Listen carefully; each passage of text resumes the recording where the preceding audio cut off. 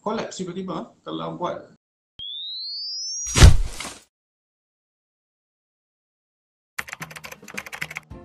jantung bekak ni maksudnya ketebalan otot, ketebalan saiz tu agak lebar sikit daripada yang biasa. Ini mungkin disebabkan komplikasi darah tinggi yang lama ataupun kegagalan jantung dia menyebabkan saiz tu tak besar sikit lah.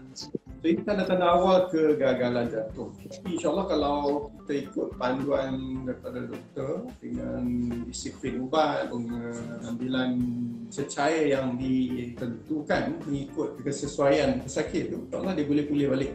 Dan juga kalau kita buat rawatan, rawatan jantung ni macam-macam. So, ada yang makan ubat saja, ada yang kena masuk stent, ada yang lepas masuk stent pun kena makan ubat dan juga pengambilan cecair yang ikut dia punya kesesuaian kegagalan jantung pula.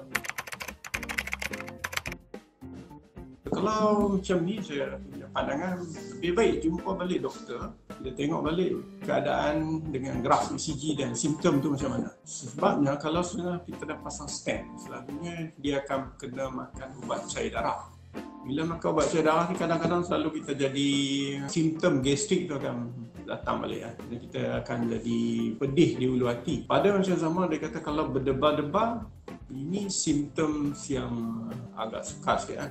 Kita tak tahu mungkin serangan jantung datang kembali dan tentu kalau ni kita datang balik ke jumpa doktor balik kita buat rawatan balik tengok sama ada simptom tu gastrik saja ataupun masalah jantung tu balik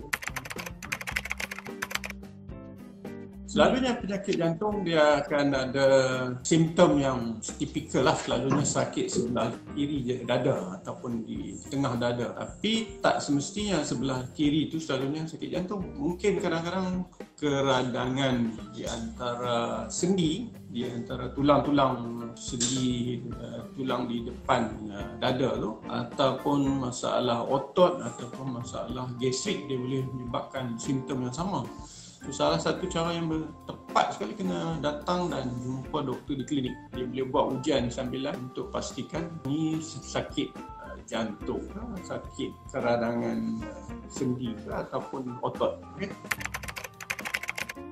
Orang hmm. muda, orang tua, sekarang ni trend dia macam-macam sama.